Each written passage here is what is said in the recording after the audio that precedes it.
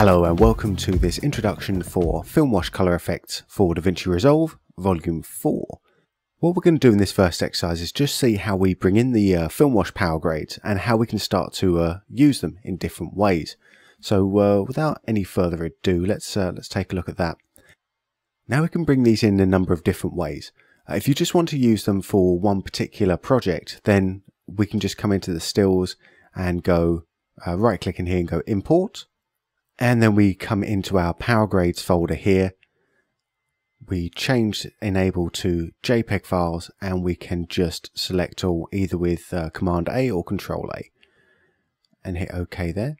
And this will then go in and load all of the film wash effects into our stills library here. And as we can see, they're broken up into a number of different uh, categories. The XC stands for cross color, the XB stands for cross balance, FS for film stock, and the XP stands for cross process.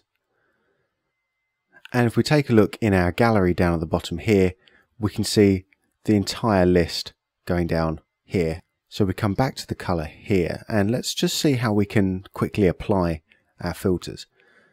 So if I just right click and go add correction here, we can start to see that immediately we're going to get a different feel for our footage. Now I'll go through a few of these different ones here. So we just take a quick look just at random ones. We can see that we're getting a whole load of very different styles coming in just with our different corrections. And the beauty of these color grades here is that you can mix them up and down very, very easily. So for example, if you think this look is too much or not enough, we're just going to come into the key down here, come to our gain, and by taking our gain lower, we can mix it back, and by bringing it up higher, we can get a more pronounced effect. So a quick before and after, we'll take that down a little bit here. Now let's uh, just base memory that for a second to reset. Now not all of these consist of a single node as the afternoon sun one does. So if we add this correction you can see we've only got one node going on here. Uh, some of them have multiple nodes going in. So for example, if we go to our film stock homage Kodak Gold, you can see we've got two nodes coming up. Now we could mix back both of these nodes uh, using the same key, gain, as we did with a single node or enhance the effect if we want to. But usually all you'll have to do is adjust one of the uh, of the nodes here. Usually the main one here the one that's already mixed down to uh, a normal gain of 0.5 and if you adjust that one that will have the most pronounced effect on it for you.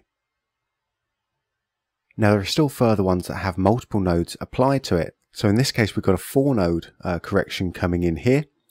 Uh, and what we'll want to do is come to, again, the node that looks like it's just been mixed down already a little bit. So it's going to be slightly uh, more faded than the other ones. And this, again, is going to be the main node for sorting out uh, either mixing it back or mixing it further in.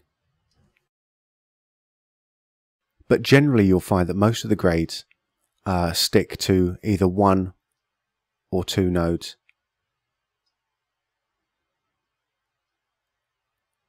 Of course, moving on to the next shot here, uh, what if we've actually already got a, uh, a color correction uh, applied to a particular clip? So here, I'll just come in and I will add a, a window up here.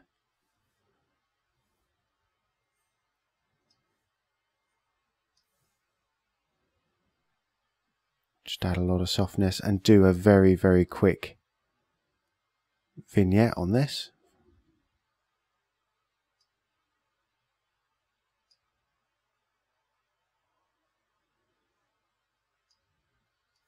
So we can see something quite quite pronounced here. It's uh,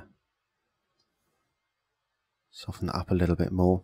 uh, and maybe we'll come in and we will add a another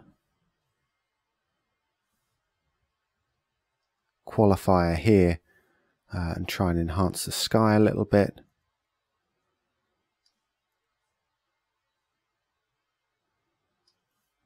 Cool, so we've got our before and our after. So we've already done the uh, the sort of main balancing work for it.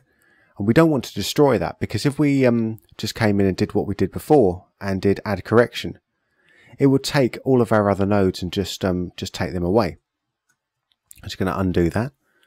So what we can do is instead of um, adding a correction, we can append the node graph. And this will then place our film wash right at the end of the uh, of the node queue here. So before and after. And completely before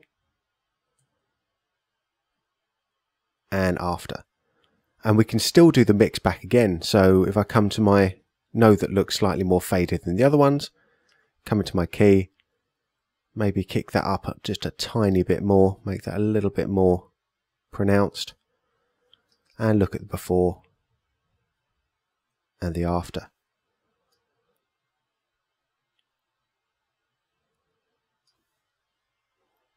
So as I said, this is working on, uh, when it's in the stills library here, this is working on a, uh, a project by project basis.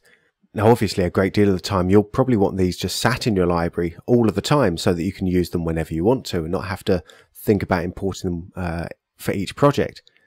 So now we can do the same things we did before, except this time we're going to go into the Power Grade tab. So if I import from the same JPEG there. And we now have these sat in our Power Grade tab, uh, and these will be available to us no matter which project that we're working on. Uh, and just by double clicking on any of these, we can take a quick preview of what it's going to look like before we apply it to our shot.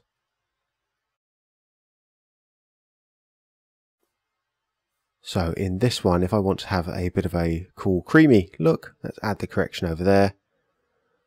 Toggle our wipe off again and check out the before and after. Now, of course, there's nothing to stop us from blending multiple uh, ones together. So if I add my Fuji color here and then decide that I want to take things a little bit uh, warmer after this. So let's come up to my uh, cross balance daylight to tungsten and append that node up here. See the before and the after.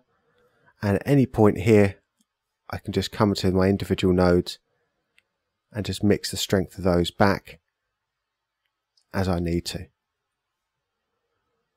or increase the strength if I want to, to really get that look that I'm actually after.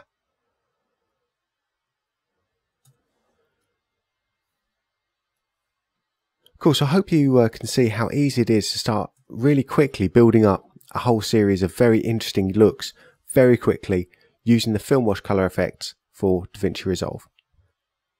Now join me in the next tutorial and we'll be looking through the, uh, the process of doing a quick grade on a series of shots and how we start to, uh, to apply film wash to those. Thanks for now.